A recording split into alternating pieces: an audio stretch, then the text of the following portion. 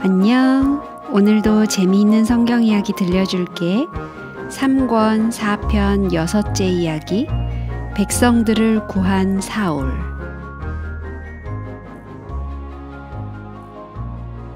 사울이 왕으로 뽑힌 것을 이스라엘 백성 모두가 좋아한 것은 아니었어요.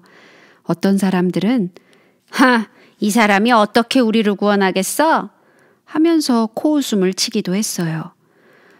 한편 사울은 집으로 돌아간 후 전처럼 밭에 나가 일을 하며 지냈어요. 그는 왕궁도 없고 군대도 없고 신하도 없는 왕이었어요.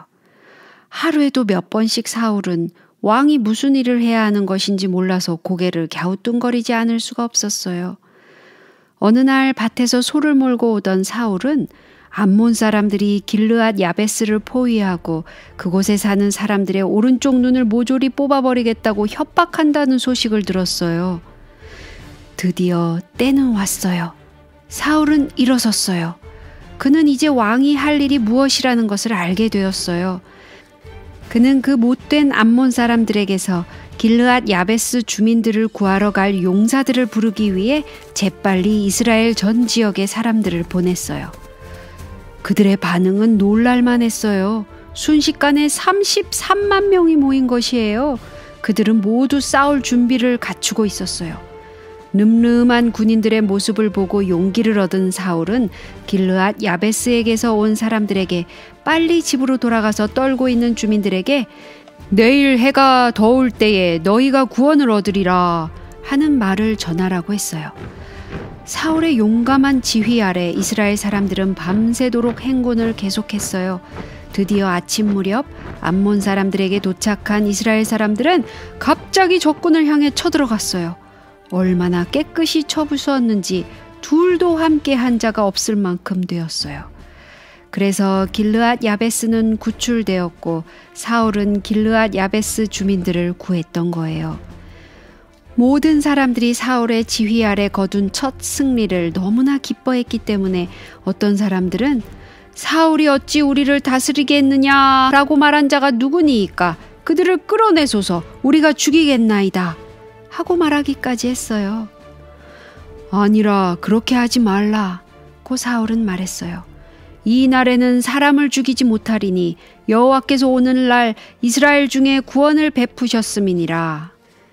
사무엘은 이때야말로 사울을 왕으로 즉위시킬 가장 좋은 기회라고 생각했어요. 그래서 그는 백성들에게 길갈로 가서 나라를 새롭게 하자고 했어요.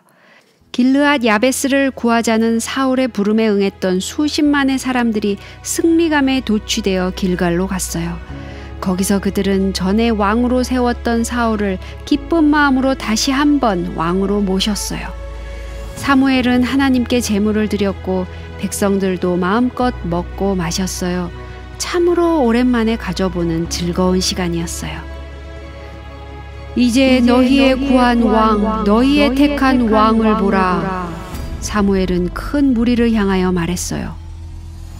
너희가 만일 여호와를 경외하며 그를 섬기며 그 목소리를 듣고 여호와의 명령을 거역하지 아니하며 또 너희와 너희를 다스리는 왕이 너희 하나님 여호와를 좇으면 좋으리라마는 너희가 만일 여호와의 목소리를 듣지 아니하고 여호와의 명령을 거역하면 여호와의 손이 너희의 열조를 치신 것 같이 너희를 치실 것이라.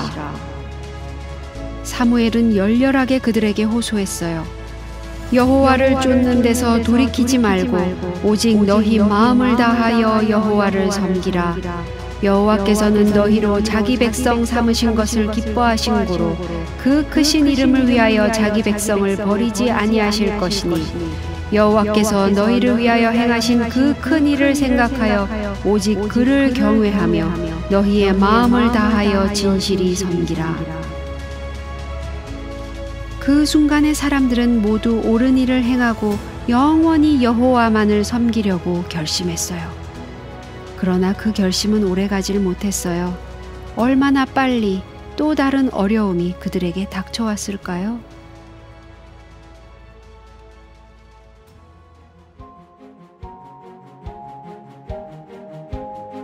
오늘 이야기는 여기까지야. 다음에 또 재미있는 성경 이야기 들려줄게. 안녕.